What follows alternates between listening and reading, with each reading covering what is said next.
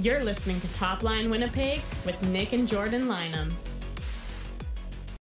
Welcome back to the Top Lyne Winnipeg Jets podcast for our uh, weekly outlook. And all good things must come to an end as we record this Sunday morning after the Philadelphia game. But we'll save that for later down this weekly schedule. Let's bring in the man, Jordan Lynham. How you doing, Jor? I'm good. I'm good. I, I'm thinking it's uh, probably good for the Jets as they don't play again until Tuesday. Eh? I think so. I think so. This is a team that just finished up nine games in a 15 day stretch. Eight and one in that stretch. And they won eight in a row during that stretch for a franchise record win streak. I saw some overreactions all uh, on social media, and that's probably to be expected. That's just sports fandom. What's your big takeaway from this last nine games, man? This team's legit. If there's any, if there's any naysayers before the streak, I mean, the, it's not like they were in a bad position before they they No. started the streak. But uh, if there's anyone that didn't believe in them before, I don't know how you don't believe in them now.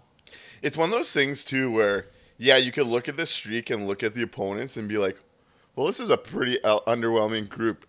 But if you're a, one of the upper echelon teams in the league, these are the games you have to take care of. Like we've seen so many times in the past, the mediocre version of the Jets, a stretch like this, they might go 500. They Yeah. would take some of those teams for granted, and they would just walk all over them. We didn't see them, that. This streak started with basically ending the Minnesota Wild season. I don't know if you've seen what's happened to them since. They've had a the inverse of our streak. Eh? They're on a similar trajectory, but Nine straight opposite. games of three goals against or more. Um, they have not won in regulation, I believe, since, or lost in regulation since. I, I don't know. It's they're on like a nine game heater right now. They just got booed off home ice. Um, you could say the Winnipeg Jets broke them. At, at that point, if, if Minnesota won that back to back, they were fighting for the wild card spot with the Jets.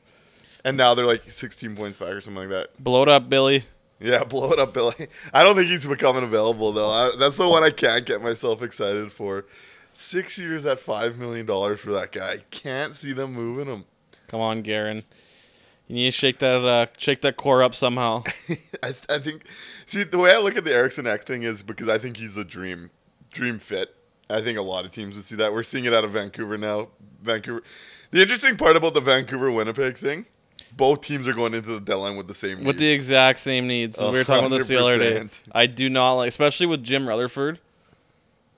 Right, it's Jim Rutherford there, right? yeah, with that- Patrik Allvin, He loves to trade, and he'll take the big swing. and yeah, he we've seen it. We've seen it in Pittsburgh. I, I know he's not the GM now, but come on.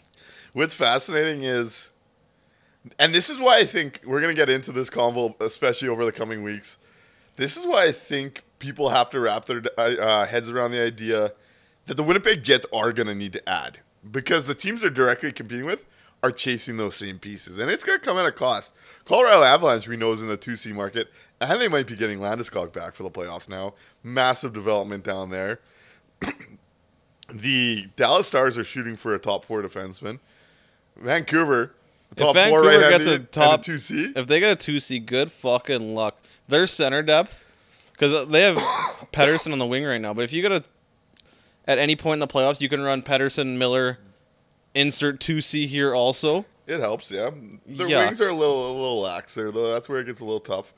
But yeah, their star talents carrying them right now in Demko. So what I'm trying to say is the teams around us are going to be looking to get better. So we're going to have conversations about trying to get better, despite just how good this Winnipeg Jets team's been.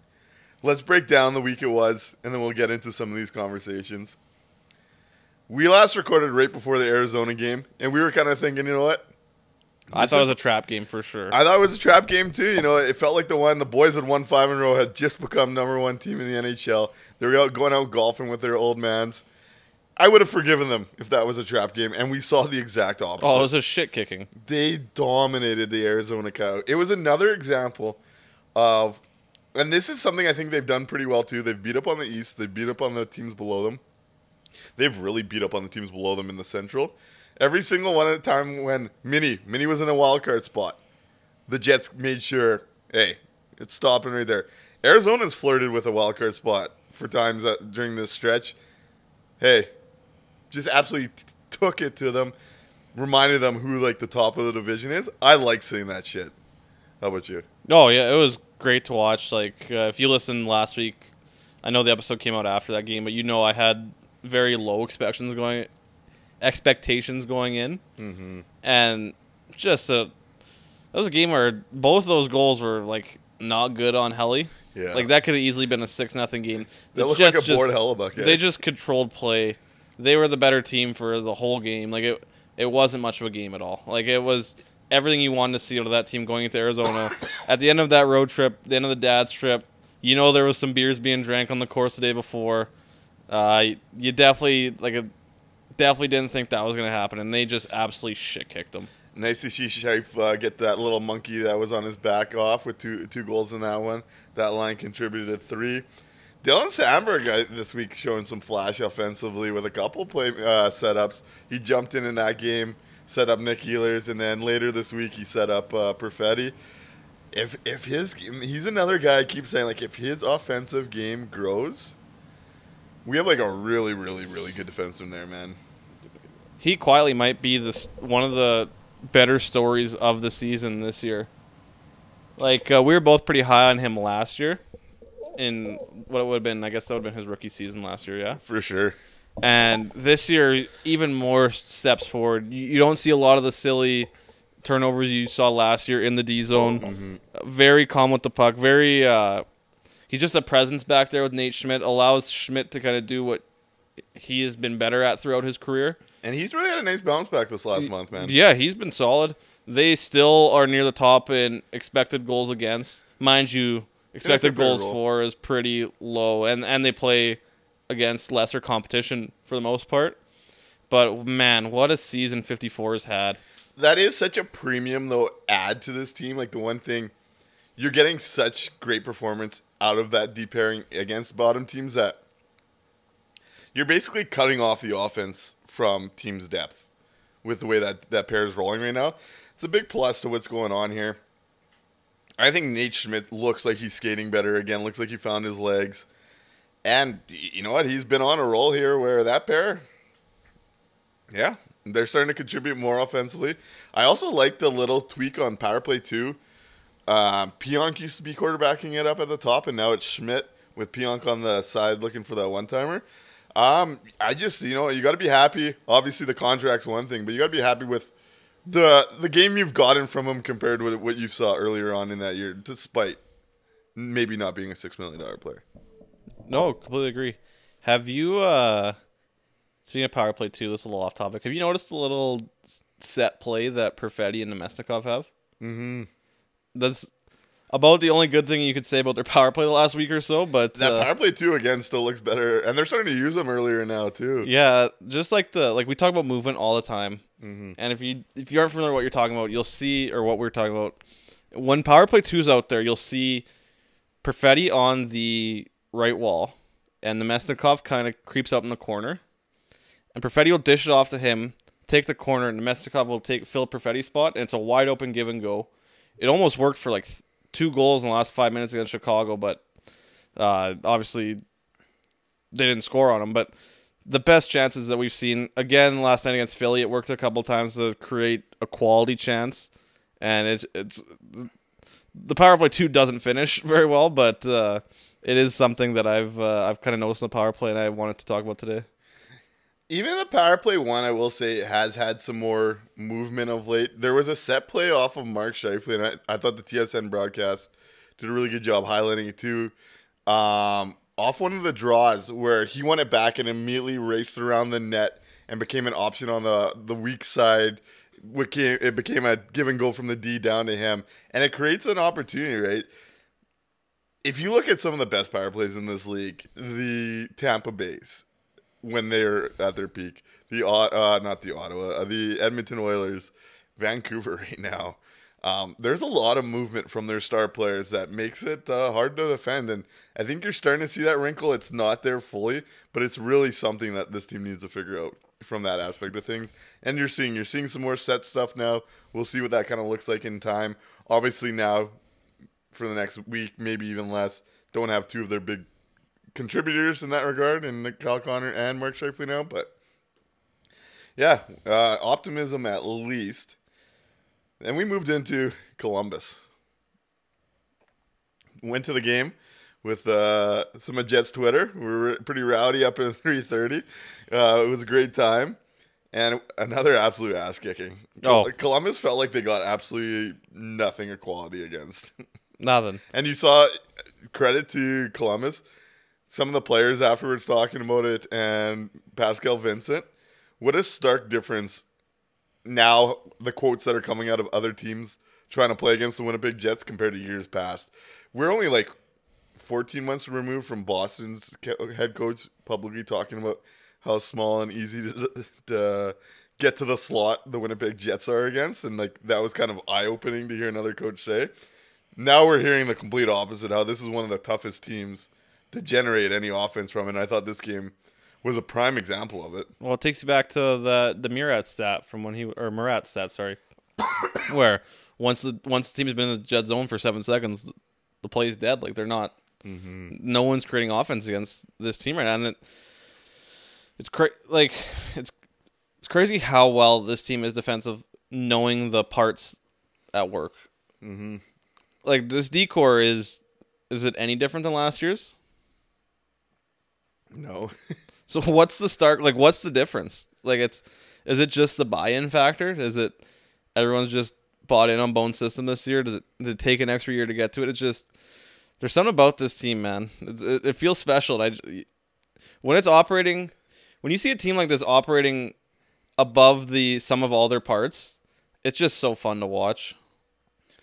Well, and and it's not even just us watching and seeing that the Jets are just impossible to generate against. Like this is a this is truly a five man unit working back there, and I think that's the biggest gap.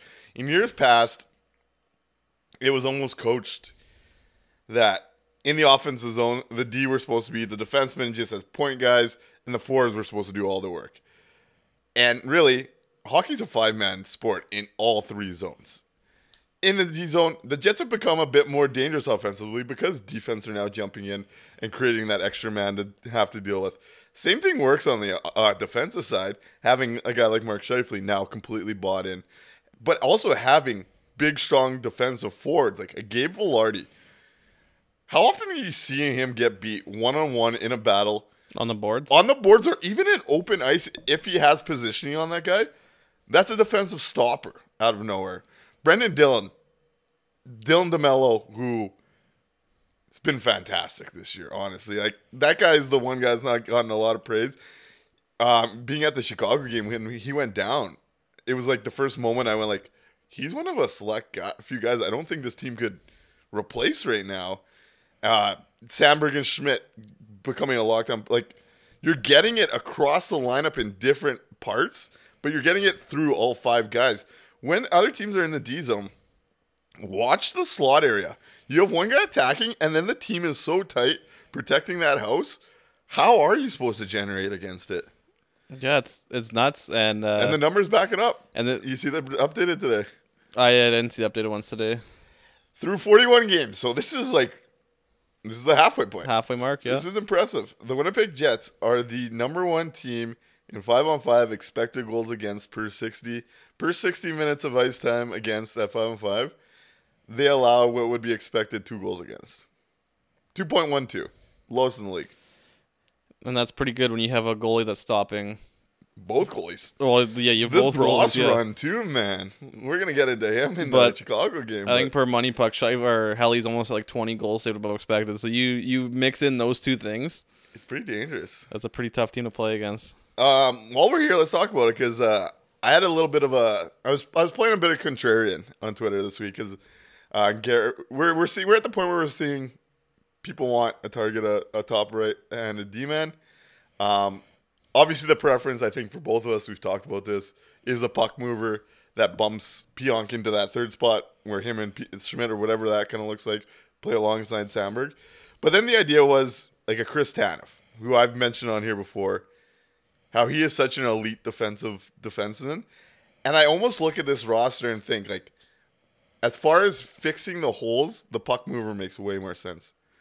But then I started thinking about like the Blue Jays and baseball and how when it comes to the playoffs, sometimes it's those pitching staffs with the lights out bullpens that you you have to you have to you only have to get to two goals or two runs, right?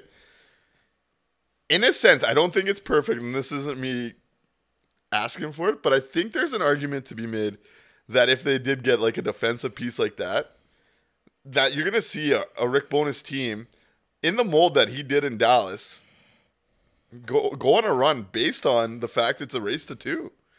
And with this goaltender and this defensive presence, I, I I wonder about it at least, you know. Yeah, I definitely don't hate it. Um, I used to have a teacher that used to say, "Oh, practice what you know," and that kind of that kind of fits into that kind of uh, sort of thinking. Mm-hmm. Also, the Jets have gotten extremely lucky back on the D corps, and you With were at health-wise the stuff. health wise. Yeah. You were at the game, so you didn't hear this. on the broadcast, I think what's his name, John Short, that uh, was the color guy, was talking about how the Jets are the only team or one of two teams that have had five of their first game starters on defense play every game this year. yeah, that's pretty crazy And the only two that switch are Samberg Stanley or uh, Schmidt Stanley. because of the choice. Yeah, yeah. So Samberg, Morrissey, DeMelo, Pionk, Dillon have played every game this year. That's not going to hold up. Yeah, and so, so along the same lines as you just said about the uh, practice which you know, there is a there is an idea in sports, and this mostly comes in baseball when we're talking about lineups and stuff like that, where you double down on what you're elite on, and you're just that much better in that area than everybody else. And when you have two guys performing at the goaltending level you're getting, you have the team D structure. I do think it's something to contemplate. And you know what? Watching yesterday, it really convinced me that I think I am leaning that the 2C is way more important than the defensive help right now. I, I would completely agree. But even in that conversation, when we're talking about 2C, a lot of the guys we talk about are two way centers that are very good defensively. And it just, that fits into this team's mold so well. Like, this isn't the. The Jets of 17 18, where they're going to score five, six goals on you every night. It's just, it's a different mold. It's a, still a really good mold, but I think adding, like, obviously with Shife gone, you need a two seat. Mm-hmm. Well, not with Shife gone, but with Shife being gone, highlights how much that a center center depth is missing. And Lowry stepped in fine, I think, on the first line, better than I think he would have in years past. Like he's having a beast of a season, For sure. For sure. but uh, you absolutely going into playoffs, like we said, you're competing with very good teams for the same position. All those teams are going to be looking to add. You you have to shore up that center depth. You you just absolutely have to. And yeah, we'll get more in depth into that center conversation when we get to the Flyers game here because I think that's where it really got highlighted, and we'll get into that. Let's talk about Chicago because this looked like for 56 minutes where the streak was going to end, and it was funny. We were looking at the odds before the game, and I'm like, man, they had Winnipeg at minus 450, I think it was, and Chicago at plus 350, and I, I almost sprinkled some money on Chicago just because You don't hockey, see lines like that. Yeah, hockey, like even in the most egregious game, if you're giving me a three and a half to one dog, I think I gotta chase it. Whereas if you're you're paying me minus four fifty, like that's not great return on a two one hockey game, man. Like if you bet on the Jets, you're probably feeling That was it. a sweat. yeah. So this game went last minute uh, through the storm. Great crowd. I was surprised. You were in attendance for that. yeah, one, I was. I didn't think. I wasn't thinking the Bedard factor, which would have played into this for sure. Yep. But I'm thinking bad weather. We're gonna see like a 10, 11,000 seater tonight. Like I thought it was gonna be. You're playing an AHL roster essentially. No Bedard, no Hall, no Beauvillier, No no Seth Seth, Jones. Jones. Like whoever they send in the All Star game is gonna be a career AHL player at this point. Yeah. Uh, so I'm thinking, okay, there's there's no way. Not accounting for the Bedard factor would have sold the tickets at the start of the season. Yeah. Yeah. Yeah. But yeah, packed house. There was still some empty seats. That's to be expected with the weather that we did have. Yeah. But it was a sellout. But it was a sellout, and it was a pretty electric crowd for what turned to be the last five minutes. the crowd at, at the Canada Life Center is back. Like people are going there expecting something to happen. Like you could tell the buzz is different in there. And when the Winnipeg Jets made the crowd wait for 56 minutes to finally let it go. I thought that was a really poor hockey game. Oh, it's terrible. They had a really good start. Probably the first eight minutes or so, they were all over Chicago, and then they fell asleep until the third period. And they got dominated for the next 40. And then yeah, they started gaining some momentum in the third, and finally, Gabe Vilardi from Adam Lowry and Josh Morrissey, both guys, I thought that was like a leadership. Oh, night. the leadership took that team on their backs that night. A hundred How many two on ones did Morrissey stop there in the last few minutes? Even when the puck came back the other way, he looked like an. He's our best player. Hundred percent, he is. I don't think it's a like. Remember we were debating the MVP. I think it's been a runaway since Like we were talking about at the start, Scheifele versus Morrissey. and Morrissey, you kind of knew going into the season he wasn't going to put up seventy five points again. Yeah, Like that's that's a career season. You could argue he's been better than last year. I th- I think it's not close if I'm being completely honest. Like, I I said this in the morning after the day after, but we gave so much attention trying to build Morrissey in the Norris case last year because the points were there. I think we're almost doing a dis- him a disservice by not being more vocal about it this year. He has been a better overall defenseman. Like last year, and we talked about it a lot. I felt he cheated a lot defensively to Oh, get those 75 points, and I was more than okay with it because it was so much more valuable to what this team Yeah, the did team needed it. he's found that happy medium where he's been a shutdown guy on the other side, and he's still pacing what sixty plus. Like he has firmly been a top three, four, at worst five defenseman in the NHL this year. Even I saw the Spittin' Chiclets guy did their central predictions or updated predictions or whatever, and uh, Ra quickly was like Winnipeg, and then Biz was like I think Wiz- Winnipeg, but Dallas has Heiskanen and he's an ace on D, and I don't know if any of the I don't know if Winnipeg can match. Matt Heiskanen's a great defenseman, and I tweeted this at Biz, and you know what? He acknowledged it. You're underselling Josh Morrissey this year if you don't have him in the ace in the NHL. He's got to be in that potential finalist for the North for There's sure. there's one D man better than him in the Central. yeah, Cale Makar. He's the best defensive man in the world. Uh, I'll, uh, I can't even argue that one. I got Makar Hughes ahead of him for sure. Those are the two guys for sure this year. After that, I have Morrissey up there with anybody. He has been the absolute rock at both ends of the ice. He impacts the game that much. I thought Dad nailed it too. Like Dad was so impressed with his game that year or that night. He that he didn't think uh, we win that game without Josh Morrissey. I yeah, You don't. We've had so many nights like that where just quietly he has been what we expect, I guess, at this point. Where he is outside of Connor Hellebuyck, the MVP of this team, in my opinion. So how about the uh, the moment Ehlers puck went in there? That's what sports fandom and live sports is all about, man. Like that game went from like so like frustrating and like not entertaining. Honestly, Shadow Bros. He made some pretty big saves for 20 shots against. Like they're they were a bit leaky that night, and I thought Bros did a great job shutting the door and keeping it at one. And then that Nick Ehlers pop in that arena, man. That was the biggest pop, most electric regular season moment I've been a part of probably since the 18 run. Oh yeah, that that's a that hit a level that I haven't heard there in years. It, it was right up there with a round one from last year Vegas pop. Like it really was. The, and and that's what like doing that CBC interview the next day after and getting called a super fan. Anybody that goes to an arena and gets to sit with 15 other 15,000 other people and get to experience a moment like that is going to become a fan of that experience. That was everything you wanted. Like I'm going to remember Nick Ehlers scoring the game-winning goal with a minute 5 left against the worst team in the NHL in the middle of January Uh, forever. on, on like Peter Mrazek. Right? Yeah. He's not anything special. forever because of that pop.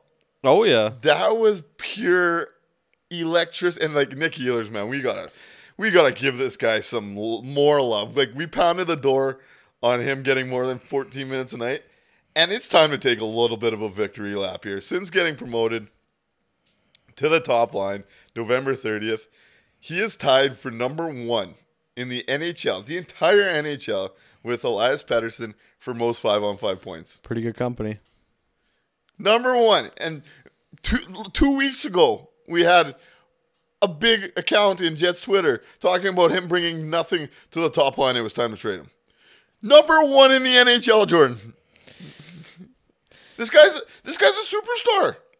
He absolutely is. He, he absolutely has been. His his play has been phenomenal. You could tell that last ten minutes that he was buzzing. Like there was something coming. He was shooting for anywhere. He was looking for that top corner. I was like all night. Yeah. Side note: Does anyone take more slap shots in the NHL than Nick Ehlers? At this point, no. I, I don't think there is. Like there is. There's it's that quick be, one too with traffic. There's got to be no one in the league that takes more slap shots than Nick Ehlers. I'll we'll have to find some stats on that or something because that's a die. It's a dying skill, but fuck does he love to rip the clapper. He's an absolute electric factory, and I, I had someone reach out on Facebook about him, just saying like, I think the nerds kind of won on this one. Like clearly, he's the guy all the analytics people have talked about. But I find that narrative odd because anytime I watch hockey with guys we grew up playing hockey with, who's the one guy they rave about all the time? Any any buddy of mine that starts getting into hockey, the one guy they talk about at the end of the night when leaving the rink was Nick Ehlers. Like it's a if you don't like Nick Ehlers, honestly, it's on you as a hockey fan. It it uh, it hundred percent is like you don't know what you're watching. You, you you either hate that he's not a Canadian born player or something, because this is a guy that is fully accountable on his bad nights after. Like he is one of the his harshest of critics. There is nothing anyone can say that he's not saying worse about himself. I like to see that uh, for coming from a professional. We talked about accountability for years, months on this uh, podcast. He's got all the talent in the fucking world. He's a human highlight reel when he wants to be. Yeah, he makes some bonehead passes. Like, Yeah, that's- clear. Clearly, he. We're not saying he's perfect, but what he brings to the game, what he brings to the atmosphere, what he brings to the Jets top line. This is one of the first guys. This is the one of the only skill players that'll drop his gloves at the as soon as something bad happens, Vladimir Namestnikov takes a bad hit. Oh, don't worry, Nick Ehlers is there. How can you not like this guy? This is this is what everybody wants in a hockey player. But oh, there's a couple of bad passes. Everything else outweighs the outweighs those three, two to three bad passes that every fucking guy makes. It is. It's Like it's absurd. it's nice to see the guy that you want to see get the ice time succeed when he gets the ice time. He was held back behind Blake Wheeler for five, six years And this isn't just a Paul Maurice thing because he was held back last by year. by too. Rick Bowness too. Oh, no, hundred percent. We we had the prime Blake Wheeler replacement in house, and we would just not get out the. We wouldn't put the old carcass out of the way to bring the new new Yeah. one in. Wouldn't take him behind the shed. No, we we, we wouldn't, and uh, that's why it was funny to watch uh, Jim Toth get lit up a little bit this week with the Blake Wheeler. You're about to find out how valuable he is. Well, we're finding out how valuable he was for all the wrong reasons right now. Let's move on to the the streak breaker. Philly yesterday, Hockey Night in Canada, Saturday. What'd you think? No Mark Scheifele. Mark Scheifele left the Blackhawks game with I missed it in house. Yeah, I missed it too. I was yeah. I was just getting back to my seats. Seemed to be a growing. I heard optimism yesterday morning, and then we got the day to day prognosis. From what I was told, they were only expecting he was for sure going to miss the Saturday, and then was open minded from there. I'm hoping that's accurate. But it, this team clearly missed Mark Scheifele yesterday. What'd you see? I agree with you. Like uh, there was very outside of Gabriel Vilardi and Nino Niederreiter, who we can get into that in a second. There was very little offense creation, and that's obviously that's where Scheifele comes in so well. Yeah, I bread like I said earlier, I think Lowry did a fine job stepping in in that role. I don't. He's obviously not the answer long term. In years past, it wouldn't have looked good at all. But uh, they got dominated the first half. They did, to their credit, they did look a lot better in the second half. Especially the third period. That was the Samuel Ersson. Since Helly's run, has been the third hottest goalie in the league. yeah. Less games played, I think, because I, I don't I think Hart's the starter there right now. Mm-hmm. But he, you he had a great game too. Like he made some big saves there for him. But uh, it did look, it did look a lot like a team that's playing their ninth game in 15 nights. The one area of concern really for this one was the Nino Niederreiter line, and a guy that we've had a lot of conversations about on the show this year, Mason Appleton, was not his best night. It was very much not his best night, and he led the game in even strength minutes. Yeah, that's where I want to go with that one too. Um, I I agree with a lot of what you saw. I thought the Jets really had a slow start to this one, but for let's say the last 35 minutes of that hockey game, they clearly pushed and pushed and pushed. They just couldn't score one. Um, so for me, I saw some people, and I get it based on years past that last night was the indicator that we're gonna get that February collapse. I thought yesterday was honestly how do I want to frame this? Another credit to Rick Bowness's outburst providing answers in a sense. Because what was the one thing leaving last year was the pushback. Yeah. Despite not having it, and this is a team that played nine games in 15 days. It's a lot. And after watching, you know, Chuck Hellebuyck's vlogs and stuff and watching just how much is going on, I think you can get an appreciation of being worn out nine games in. I don't want to lean on the injury thing because, you know, Philly was lost Coots, didn't have Drysdale. They were pretty outmanned too. I just think we were at some point we were due. I said it in that CBC hit. uh, This seemed like the the spot, and that's okay. Yeah.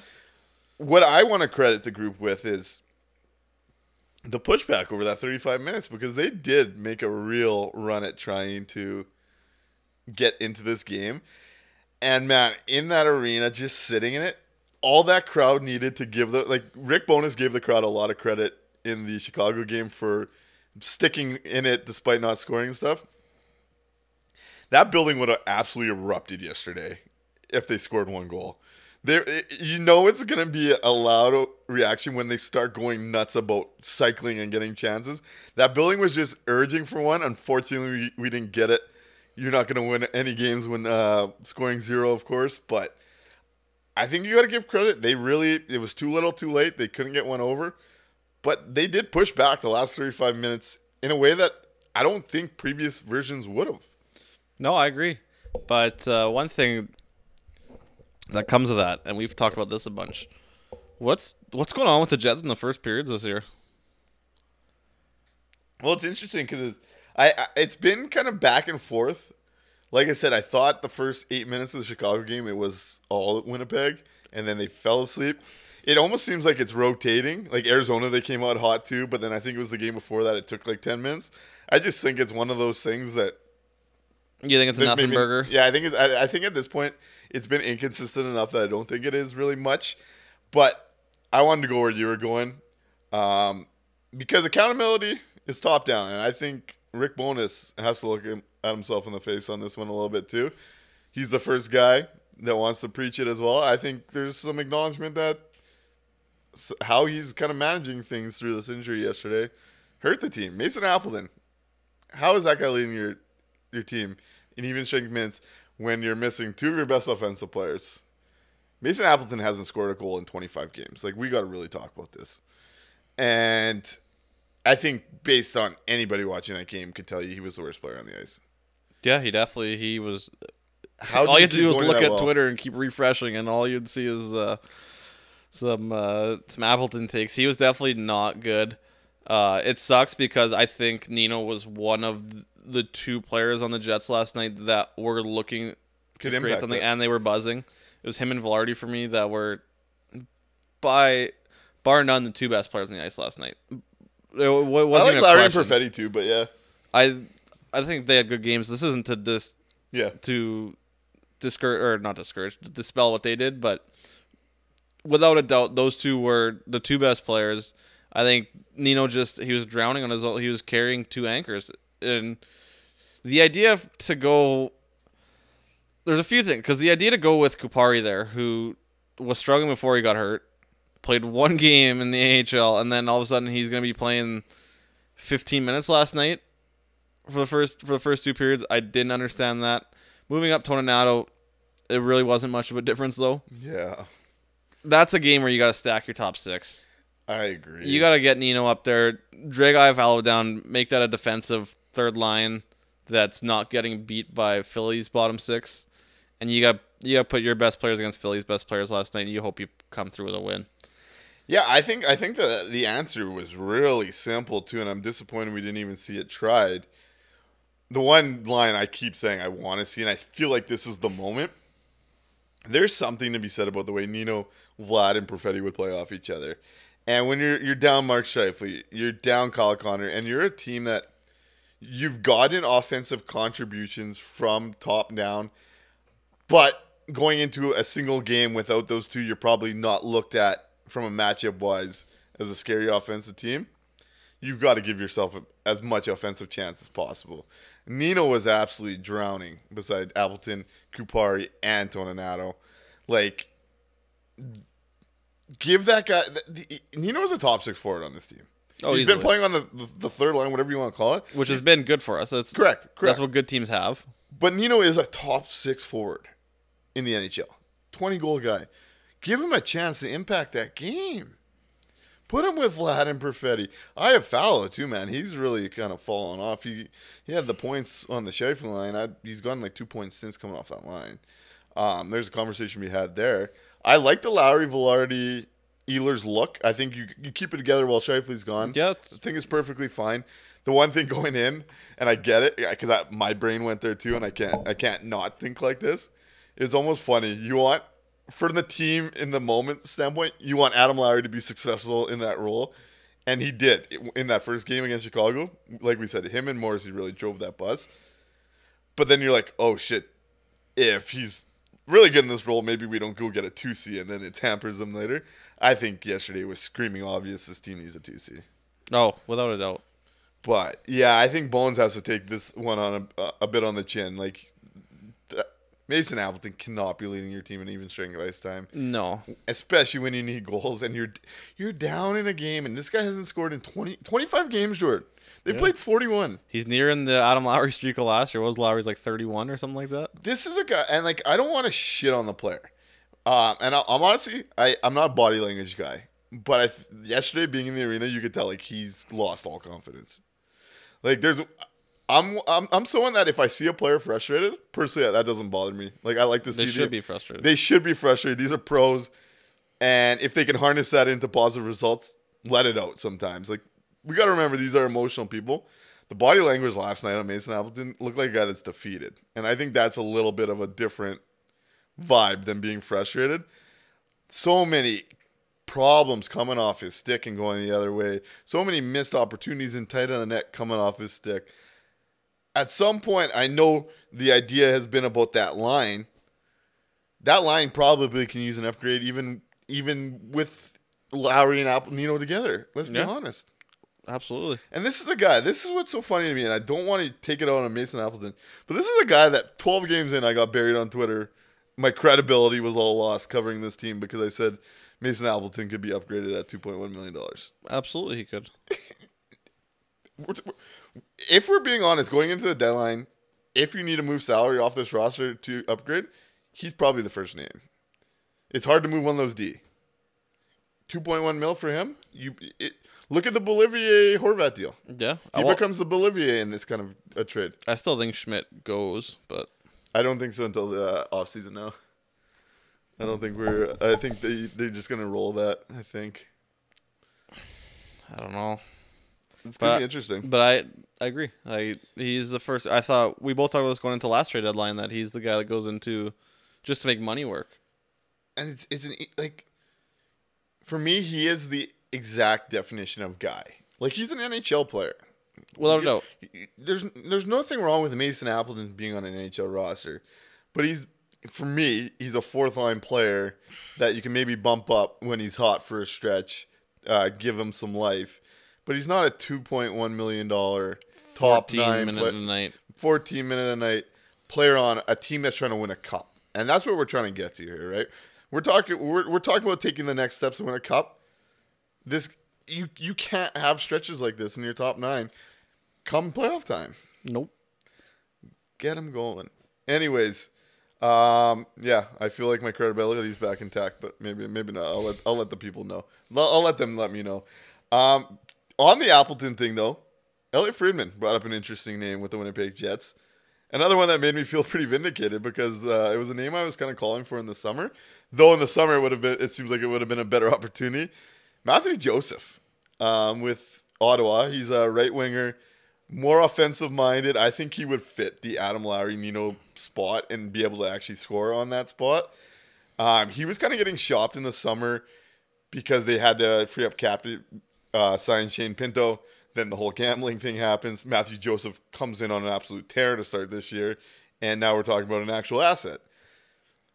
I, I'm intrigued by the idea of him replacing Mason Appleton on that third line. What's your thoughts there? Yeah, I I'm absolutely on board. Just it can't be your only move. Like Correct. That's a that's a secondary move with a deadline type of thing. That's that's not what you're headlining with. And if you can get it done, sweet.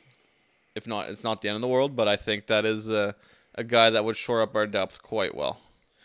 Yeah, and it's a guy with a couple years of term, just under three mil. You basically want to get out of Appleton to do that. It's an 800k difference, but you're getting a better offensive player for the next couple of years. I yeah, like and it. You like you it. likely see more offense out of your third line again, like at the start of the season when they were shooting a million percent. on a more consistent basis, probably. Yeah, But yeah, it it that it can't be the priority. The priority is two C, and if you get a two C, doesn't Vlad Namestnikov become that three right wing? Like you've been talking about, and I think you're right. You can't just put him on the fourth line. The, the the play you're getting out of him.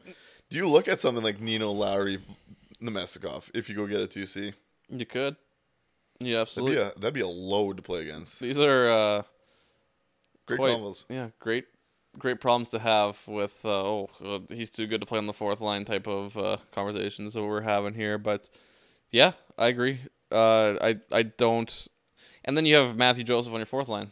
So what's the?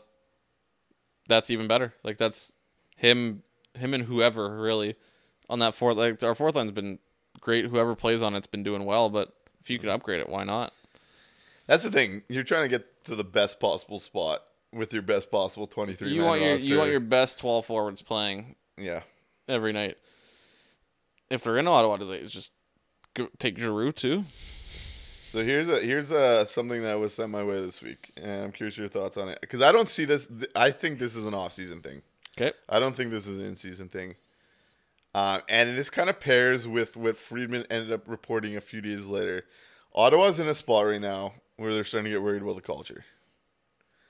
And this person mentioned this name, and then Friedman mentioned his name first, and that's always like a tell to me when he the first name linked there.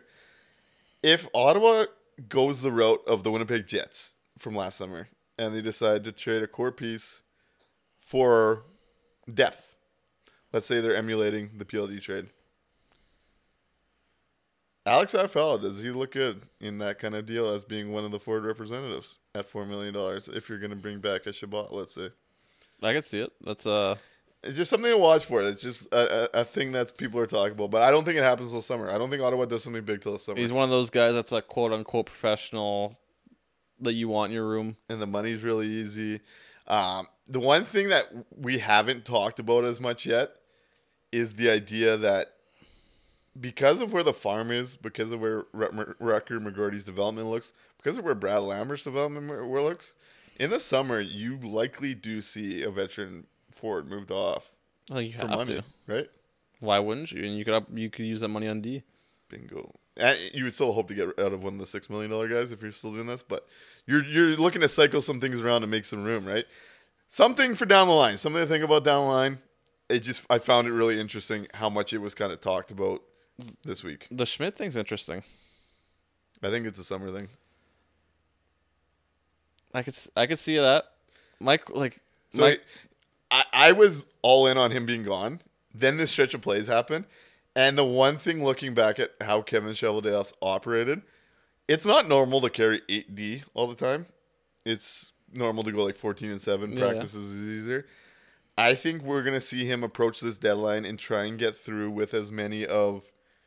He might add to it still, but still try and get through with the six we have in right now uh, a seventh guy coming in that's probably going to impact the lineup, which bumps a, maybe a Schmidt to number seven, who you could still trust to come in as a vet that's done it, and then still have a number eight in Ville Heinola in the minors. I think that's where we're going. So you're eight deep going into the playoffs. I think that's where we're going. my thought process is just how important is he in that dressing room right now? hundred percent. That's why I think it's a summer thing too. That's one of those. It's an expensive locker room piece to have, but just the way everyone talks about him, And he's playing quality hockey. he's man. playing good right now. Yeah. Like he still might not be a six million dollar guy, but he's playing serviceable. Yep.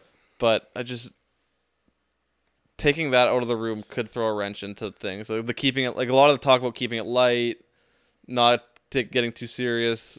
You know, the team gets along really well right now. How much of that is Nate Schmidt? Hundred percent. I I I think he's gonna be your playoff seven. That would be my bet today, and I do think he'd be moved in the summer. It's a good cheerleader to have. And I, I think the team you you're really watching for. This is another thing. I don't I don't think this will be in season, but another thing I keep hearing is Schmidt in Chicago. well, it's look at they just extended what's his name for four mil for two years. Foligno there. And Schmidt does have a little bit of control. He's got a business in Mini. He wants to kind of stay close to home. I heard that's a team he would be be interested in going to as well. Well, that's a they they need. That's a young team that needs a guy like him too, right? Yeah. Like look at the guys they brought. Like I know the Perry thing didn't work out, but they brought in Yeah. Foligno. They brought in uh, Hall. They they want good older players to kind of bring in their future. Yeah, but I think you're. I think it's he's too valuable right now to the dynamic of what's going on here, and he's so easy to cheer for, man. he's the most down to earth dude, but I I think he'll end up being like the press box seven. Which is um, fine. The guys I don't think you're gonna see on this roster potentially come the day after the deadline. I'd wonder about Chisholm. I'd wonder about Stanley. I'd wonder about Gustafsson. I'd wonder about Kupari being in deals. Do we still have Capobianco? Yeah. So like And he, is he on the Jets roster right now? Moose. Oh, I was- I haven't even heard. So I think you're gonna try and get through with nine. That Ca- Capel being your ninth then. Which is fine. Yeah, I I think that's how he's gonna approach this. That's just based on years past of prioritizing having as many D as humanly possible. I think you could see an upgrade and still see. Yeah. But but it's gonna mean like an Appleton's gonna have to go up front. Like you're gonna have to move money somewhere. Yeah, I think the the free Ville crowd can get behind it too. Because like, how do you? Yeah, he had a great camp, but like, how do you? How can you be sad if he's not playing when this is what you're getting? Yeah, even me, I'm a, I'm a Billy guy. It's right now. It's not the time. No. I will say the first time, like Nate Schmidt probably has to stay healthy to keep a, a, a roster spot in Winnipeg now, though. Yeah, yeah, he's got to keep a clean bill of health. Yeah, so nice to see Philly back. That's he's with the Moose as we expected. We get to gain a bit more cap space now, actually sending him back, which is a nice plus. Um, hoping to see him pick off where he left off with camp, because then things get really interesting. But then he also becomes a pretty big chip. Yeah, that's a. I have an NHL ready D man. we're gonna be talking about him as a trade chip at the deadline. I think. I think so too. What uh, do you think we see Kyle Connor this week? Practicing in a regular jersey next practice, I could see it. I don't want probably two of the, two practices like that, then probably get him in. I could see. I could see them giving him the week though. So are they are they gonna take Ehlers off for Connor? What do you think? I think they do. I'm gonna be so upset. That's the one thing you're gonna hear me sound off on if it happens. I just think I, you can't do it.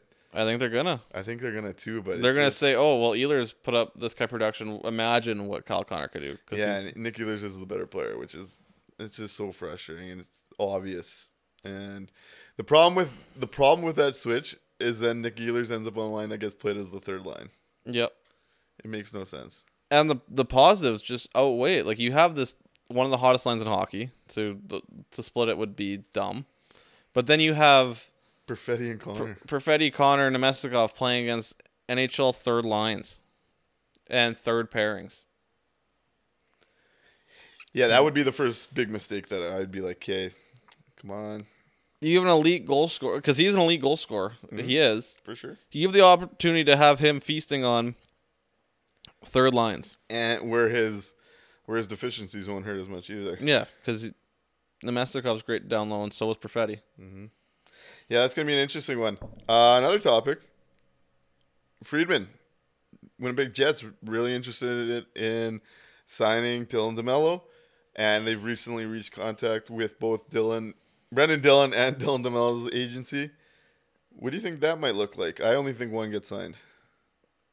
I think you got to keep Demelo You playing with to. Morrissey. It's hard to replace because his market value can't be that high. Like he's he's not a guy that gets talked about in the upper echelon. I would think a similar deal is what he's on. But it's hard to replace that sort of defensive ability, um, in the mar- especially in a free agent market. Finding a right-handed D-man, good fucking luck. He, in my opinion, he's a top forty guy I think on the right side. I think uh, I'd love to keep Brenden Dillon. Sam. I don't But- think you can do more than two years. And I think that's where it gets tricky because I, truly believe he wants to stay here. But I think him and his agency will know he can get like four years. He's having a nice bounce back. Like last year was a bounce back. This has been like of great Brenden Dillon season. Yeah, he's matched his career high in goals. He's on pace for career high in points. I think he's the type of guy a team would back up like th- three, four years. And the one thing is, in Winnipeg right now, you have Dylan Samberg ready to step into that slot. The question becomes though again, culture. Because as much as we just talked about Nate Schmidt being The problem, okay, but part of that though, hold on though. no, but I I'm not advocating to keep him for that reason, but I'm saying that's something the Jets might. The thing is, you don't have you can you you don't have the money to keep going down that route with every thirty plus guy. Like this is already an old team. Yeah, People do got to realize that this core is old now. You got like you do got to juggle winning now, but you also got to juggle. You're you're going to be paying Cole Perfetti this summer. Gabe Vilardi the summer after, hopefully. hopefully, knock on wood. Yeah, Um, Nick Ehlers the summer after. Like, w- as great as it would be to keep the band together, you got to have your eye on the summer, two summers out. and with Brenden Dillon or not with You with, have the replacement with Dylan. Samberg being as good as he is, it it allows you to let him walk. There's that's a two point five mil difference right there. Yeah, yeah, I I I see what you're saying. And I th- I think you see Heinola get the Schmidt job next year. Yeah, probably if he's not traded. Then you probably have Salomonsson start in the A, and Would he be over by next year, Solomon? he'll I thought he had, over. That's cool. Yeah. So your your young D stable starts taking their steps internally, which allows you to use money in different ways. Like it it would be hard. I I can't see them locking up both in season, still having the Pionk and Schmidt contracts on the board. All of a sudden, you kind of end up where you were last year, and we were talking about it kind of being an issue. Uh, obviously, getting out of Blake Wheeler helped that with the money. You would just get yourself back into that. So now being two, three years older, you you, you can't bring both back unless you're getting out of one of those other two before doing it. Yeah, I can see that. And I, I did to, to Chevy's credit because he had his his uh his presser. He admitted that uh, Nino Niederreiter has wanted to be extended in Winnipeg since the end of the season, and the Jets were the the party that was slow to uh, be there. So I think you might see a similar approach here. Yeah, I I think you're right on that. Any thoughts on Chevy's uh, State of the Union? I like the kind of we haven't done shit yet mentality. I know you touched on this on Twitter. It's nice to see after years of the Jets kind of thinking they deserve more than they did to kind of take a step back and and be like, no, like this, we're halfway through a season. A lot, lots still to come. I thought that was, I think Murat touched on it. It was a very confident Chevy, and I mean, how could you not be after the 2023 that he had? Yeah. the one thing that's like it's GM speak, but when he's talking about uh, the deadline and finding fits instead of going out and getting the best, like no, that's verbatim. Finding fits, not just going out and getting the best guy. I, I don't know. That's kind of the one. I think you gotta go and get the best guy. So I didn't read that deeply into that one. I uh Well, it's GM talk. It's he's gonna, GM, yeah. He's gonna do whatever. I I uh at this time last year I was pretty pissed with Chevy State of the Union. This time around I feel a lot differently in a better way. Uh it was interesting to see the beat call it confidence because through YouTube I just thought it was comfortable, but them being there you'd get the feel right. So it was definitely the most comfortable and confident version of Kevin Cheveldayoff we've seen. What I liked about it compared to years past, because you, you you didn't get a lot, and you're not gonna get a lot from as far as what he's planning on doing from Chevy.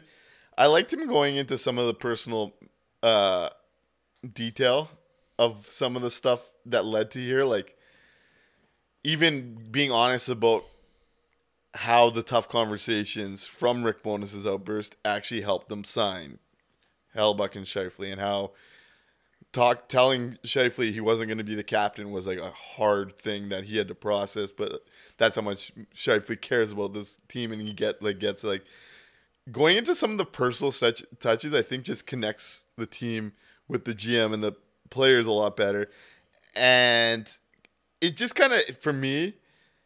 He kind of added to the story that was being written. I loved him saying that too. What you said uh, about we haven't accomplished anything yet, because in years past, something that pissed me off not only with like Chevy, Maurice, Wheeler, the whole leadership group, was they always when they were questioned or criticized when they were in like eighth place, they always talked about how oh we're an elite team, we're gonna we're gonna figure it out, we're good, we're good. You saw the opposite approach this time, where they are an elite team. They're showing this team is an elite NHL team, but now it's the mentality is we haven't done nothing yet. And I think they needed that organizational shift. I think it's been a big part of this. I don't think it's. Uh, I also don't think it was a. It was a little bit of surprise, but I think it was pretty telling that Chevy exposed Maurice a little bit and brought him up by name. As Oh, the as Kyle Connor thing, yeah.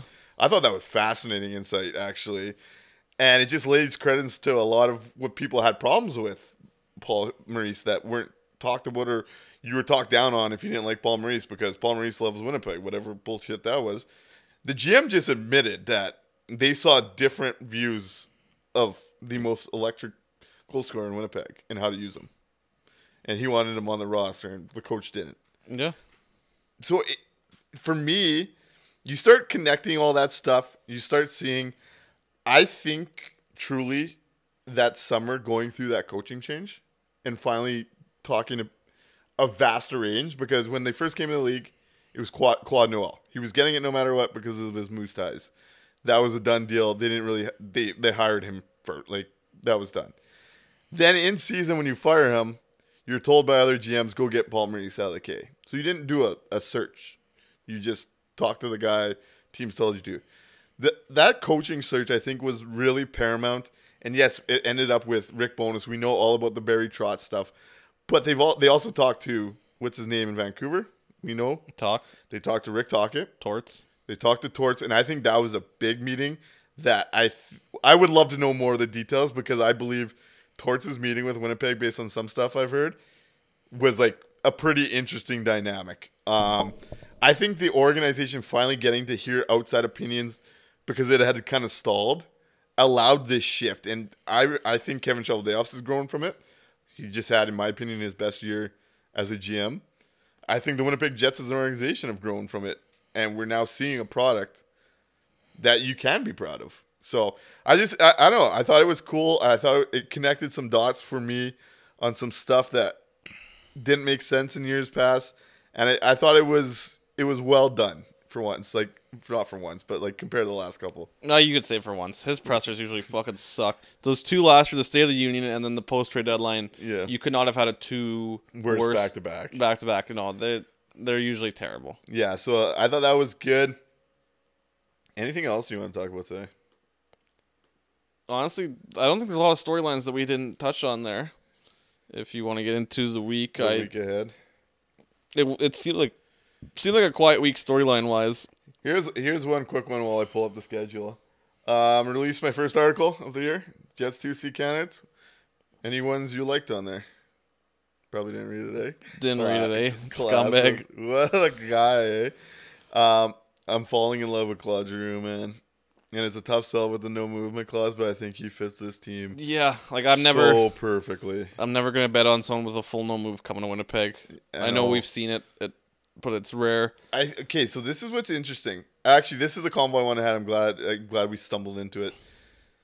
I've had a few people lately reach out and be like, "Are you starting to get concerned that they're peaking too early?" What's your first thought to that? No, I don't believe in in that sort of thing. I, I think it, if you're a good team in in in November, you're probably going to be a good team through, throughout the year. Like I don't think peaking too early is a bad thing. Again, the only thing that worries me right now is the clean bill of health that the Jets have had for the most part. And potentially going backwards on that. Uh, honestly, I'm not worried either, um, because compared to years past, the underlying data is showing us that this yeah, team this, is today, 41 games in, halfway through the season, they are a top five team in the NHL in five on five expected goals. That is a direct correlation to Stanley Cup contenders. Now, I like to, when I'm making my cup picks and stuff, I like to look at the last 20 to 30 game stretch because you can kind of see some momentum. you do get there's teams that could hog on the playoffs. But this is year. this is a team that's been through 41 games, and despite having absolutely horrendous specialty teams, a top five five on five team, and the second best team in the standings. I'm not worried about the peak. I I will say, as fans and people that follow this, expect there's going to be a down downslide at some point. Yeah, there's there might be a, 10 week game stretch. where they go five or four, five and one, and I promise the world will not be coming to an end. But where I'm going with this is the one aspect of one of those stretches is I do get a little concerned if that stretch comes before the deadline. Yes, and I know where you're going with this. This is something I wish I brought up last week. Yeah. I texted you about it after. You did. We were talking about how important the Jets being in first was in order to not have to play one of the two other teams in the Central. But what's really important about the Jets being in first is it opens up your potential trade market. Now, a lot of players like we all know Winnipeg is not a destination. Players don't look to come to Winnipeg. Players don't wave to come to Winnipeg. Nobody is nobody's first choice. So in June, June, July, nothing happens. Like the Jets aren't a free agent team. Like we've seen it all. The benefit to being in first of the deadline is players that are on an expiring deal or have a year and a half left that are in the trade talks are going to be a lot more willing to come to Winnipeg if that team's still in first as opposed to fifth in the West or seventh in the West or like like we've seen in years past.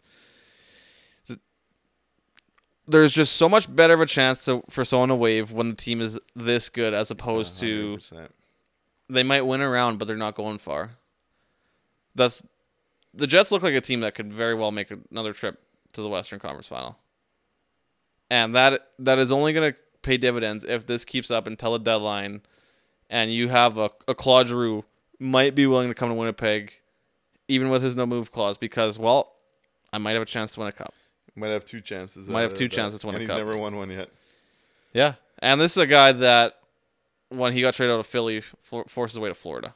Mm-hmm. Like that's the type of things that these players do and you could see it again with him next year.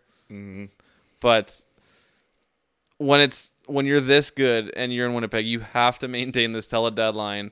And Chevy's got a strike on someone that's willing to move that no move to come to Winnipeg.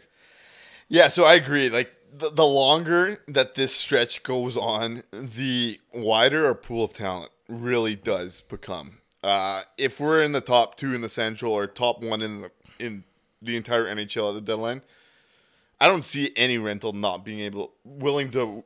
There'll still be some. There'll be some, but I, when it comes to rentals where you're going to a three month spot, I I would actually have us involved in all of them. And some of the nicer weather in Winnipeg too in that time. and, and you're living in a hotel wherever for three months, no matter where you're going. If you're a rental, so I, I, if the higher we are, I would almost have every rental despite a trade clause, because at that point that guy wants to win. He's trying to increase his contract for the summer. How do you do that better than anything? You go to the best teams in the league. You look what happened to what's his face in Vegas there last year. You have a deep playoff run with a good team. You're gonna get paid more, and that's where Winnipeg will become attractive. The other thing is, I had a conversation with someone in the uh, a player in the league. Don't want to expose them or anything, but I was just like, how can Winnipeg change the dynamic? Like, how could we become more attractive? And the one thing they highlighted was the culture. They said that yes, it was well known. It, we, we we talked about the the perceived culture problems. The fact we were talking about it, trust me, the players around the league knew way more. There's a lot of stories starting to float out there about what was going on in Winnipeg the last couple years. I got one for you after. It's pretty fucked. Um, but you're getting nothing but good vibes out of this group now that this could be a culture that could win. You're getting you're getting the actual five on five performance that shows that this team can win. I don't see why a, a player wouldn't wave if this team is still there.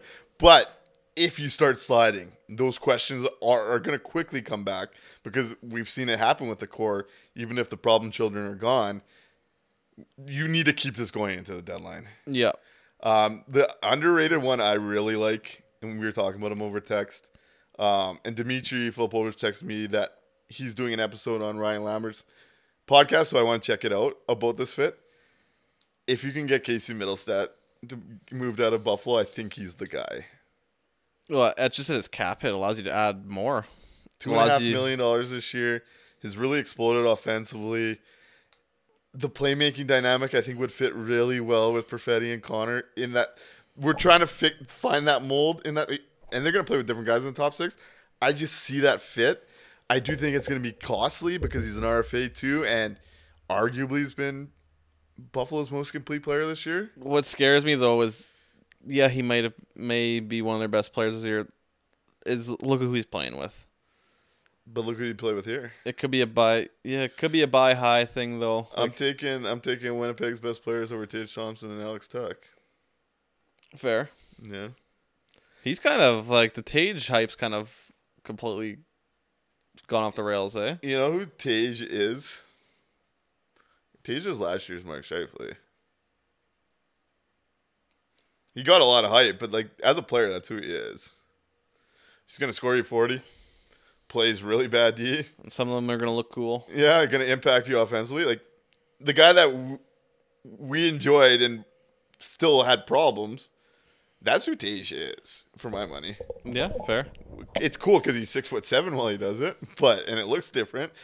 But we're talking about a forty goal scorer that doesn't do much else out, outside of de- defensively. Okay, let's get in the week ahead though. Final thing, shout out Rick Bowness All Star game. Shout out Rick Bowness All Star Game. Yes, um, First in his career. That's so crazy, eh? That's his first. Yeah, well, he's been working for a hundred goddamn years. Hon- honestly, wanted to shout out uh, Filipino Heritage Night and uh, the seatmates, uh, the legend from the Minnesota game that drew that excellent uh, Sack Squirtle sign with the Jets jersey. I happened to be sitting with her family last night, so I was talking to them about hockey and like the meaning of a Filipino Heritage Night. They were so fired up seeing the dancing and the singing and everything. But they kind of told me what got them into hockey, and they were actually down in Minnesota for a family trip and the daughter was just super into the Jets and was super into the saxophone squirrel thing. So she made that poster and was was bugging her parents to go to the game, and they took her. And now her parents are like super invested into this. Uh, shout out to uh, the Jets production staff getting her on the jumbotron. That just made her whole night. And it's events like that for the kids. You you really like to see. It, it, it felt cool to kind of have that moment and see that moment. So shout out to the team continuing to embrace stuff like that. I just thought that was great, and I thought Filipino Heritage Night as a whole was really well done. Again, wish I could afford one of those jerseys right now. Dude, the merch, the the hats and sweaters too. A little on the pricey side, the the far from ordinary ones, but Yeah, God, really, really well nice. done. Yeah, yeah. Um, two games this week before we talk again. Probably a week we could use after the stretch we went through. New York Islanders. Tuesday. I'm taking a. This is gonna be a low scoring game. This is gonna be a one nothing or a two one type of game. I'm gonna go with the Jets because I can't see them losing two straight right now. So crazy we're at that point. Um, we'll feel really good about the Jets if Mark Scheifele's playing. Um, I think, like I said before, Saturday's game really showed what this team could kind of look like without Mark Scheifele. He's in that handful of guys for me. It's like him, Morrissey, DeMelo, Hellebuyck. That would really be hard to lose. replace, yeah. Ehlers might be in it too, if I'm being honest. But you know what? I'll st- I'll still take the Jets. I'll go. Uh, I'll go three one game. And then Ottawa, the mess that is the Senators. Saturday afternoon game, where they might just send some guys on the plane back home with us. Might as well, yeah. Might as well. Uh, I'm gonna go five one Jets win in Ottawa Saturday. I think the Senators stink. I was not high on them at the start of the year. I don't know. I, I don't think they're very good at all. They don't have goaltending. It, it's always problematic too when you start hearing that they basically need to trade for babysitters on the professional environment going on. Well, it's what the, the Jets have had to do the past few years. and like we've experienced it. Remember Yeah. Mark Matt, Matt Hendricks back to back, but you know that you're in a lot of trouble when that Yeah. starts to become the thing. We could be seeing Kyle Connor back by that point. Yeah, Uh, I this could be a Jets offensive explosion. I'll go four two. I like the Jets too. Actually, before we leave, I want to touch on the Jack Hellebuyck interview quickly. That detail you sent it to on just how detail oriented Connor Hellebuyck. What was it like hearing some of that stuff that Jack Hellebuyck had said about a, a ten year old Connor Hellebuyck? Oh, the getting to know the blades, so uh, so that he knew where the puck was going, and then there Turning was down camps. Yeah. And then there was a follow up. Uh, so I think NHL Network did an interview with Hellebuyck over one of those cross crease pad saves, and all he said was, "Well, based off where his blade was, there's only one way he can go." And I was talking to a goalie friend of mine who's he's obviously not an NHL goalie, but he's like, "Yeah, that's that's you read shots based off the position of the stick. So obviously, if if you're an NHL caliber goalie, you are a lot better at it. Yep. And clearly, the work was put in from a, a young age with Hellebuyck, and it was just a cool story that he Chuck shared on uh, Winnipeg Sports Talk there. Yeah, I thought that was a great interview on Winnipeg Sports Talk. It was just so fascinating. At 10 years old, he was going around the store looking at every single blade, and he says to his dad, like, I got to study every single one of these so I know how the puck's coming off. And then to hear his version of it on NHL, it was a perfect, like, back-to-back moment this week in media. Um, because I think it was a former player that asked him too. He's like, as forwards, should we be just shooting this along the ice? Because goalies, you're like diving over in the air. And Hellebuyck so confidently too says, "No, we already know where you're shooting it because of the angle of your blade and everything." Like he's like, if you're reacting in the NHL, you're already too late. Like you just have to read the game at such a level. Uh, I thought it was interesting too. Joey Daccord, who's been on an absolute freakish stretch in Seattle. They've got like ten straight games now too. yeah, on the back of Daccord, who we traded to GC in our fantasy league, and then he went off. Fuck. Um, he had an interview as well talking about goaltending, and he said right now, because they were talking about there's some goalies succeeding. I think Daccord fits under this mold. Connor Hellebuyck definitely fits under this mold, succeeding without being necessarily over overly athletic. And Daccord said, like for his money, the most two valuable skills in the NHL for a goaltender now are being able to skate well and be able to read the game at an elite level. That's that's NHL goaltending in this generation, and we know we have one of the best guys at doing that. Because even at his best, you don't think he's playing that well because he's so big and boring and getting to impossible plays early. That stat when the Jets are up by one is absolutely bizarre, bonkers. yeah, If you, if you haven't seen it, when the Jets are up a goal, Connor Hellebuyck's save percentage is a 975. second best of the league's nine thirty four, which is still Demko, and that's who they were elite. using to highlight it was Yeah, Demko it's season. still elite. 975. If if the Jets get a one goal lead with Connor Hellebuyck, nuts. It's too bad they always start behind. yeah, true. Um, but yeah, we'll we'll take off there. Thank you um, so much for supporting. Thank you so much for listening. The community and comments and DMs and stuff has been fantastic lately. Didn't really expect the overwhelming support on that CBC hit, so thank you for that. That was like it felt it felt good to see the the reaction to that and we'll be back next week. Maybe we'll uh maybe we have some new things cooking now. So we'll we'll save that until it's finalized though. This has been a Top Lyne Media production.